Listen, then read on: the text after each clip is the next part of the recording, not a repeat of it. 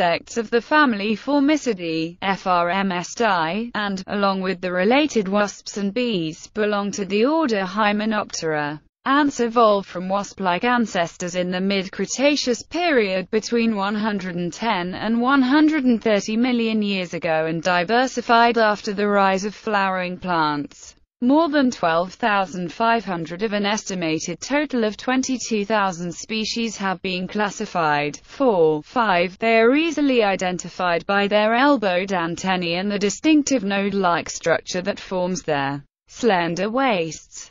Ants form colonies that range in size from a few dozen predatory individuals living in small natural cavities to highly organized colonies that may occupy large territories and consist of millions of individuals. Larger colonies consist mostly of sterile, wingless females forming castes of workers, soldiers, or other specialized groups.